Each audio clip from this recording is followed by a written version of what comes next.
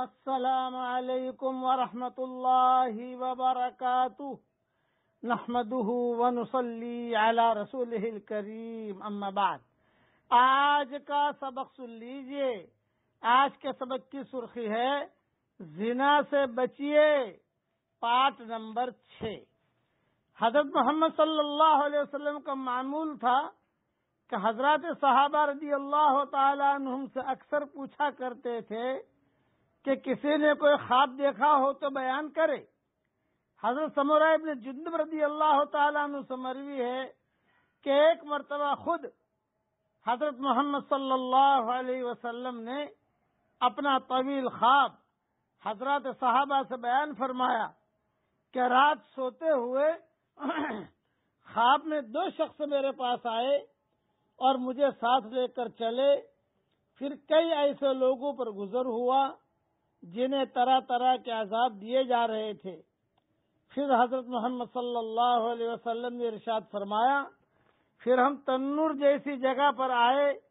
راوی کہتا ہے کہ غالباً آپ نے یہ بھی فرمایا کہ اس تنور کے اندر سے چیخو پکار کی آوازیں آ رہی تھی حضرت محمد صلی اللہ علیہ وسلم نے فرمایا کہ جب ہم نے اس میں جھانکا تو اس میں ننگے مرد اور ننگی عورتیں تھیں اور ان کے نیچے سے آگ کی لپٹ آ رہی تھی۔ تو جب آگ کی لپٹ آتی تھی تو وہ شور مچاتے تھے۔ حضرت محمد صلی اللہ علیہ وسلم نے اپنے ساتھیوں سے ان بد نصیبوں کے بارے میں جاننا چاہا تو انہوں نے کہہ دیا، ابھی اور آگے چلیں، ابھی اور آگے چلیں، ابھی اور آگے چلیں۔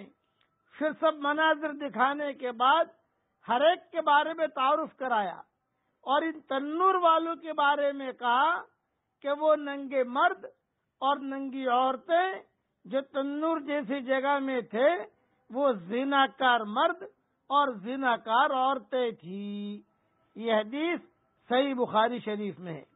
علماء اور فقہ نے لکھا ہے کہ زنا کاروں کی یہ فضیحت آمیز اور ذلت ناک سزا ان کے جرم کے عین مطابق ہے۔ اس لیے کہ زنا کار لوگوں سے چھپ کر عموماً جرم کرتا ہے۔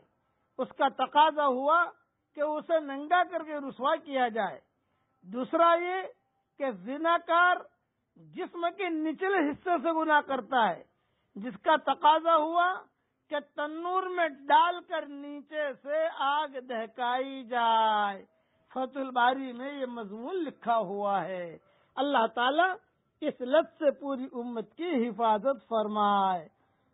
اب جو میں ایک دعا پڑھا رہا ہوں، پڑھ لیجیے۔ ضدی ظالم سے اللہ کی پناہ۔ پڑھیے میرے ساتھ۔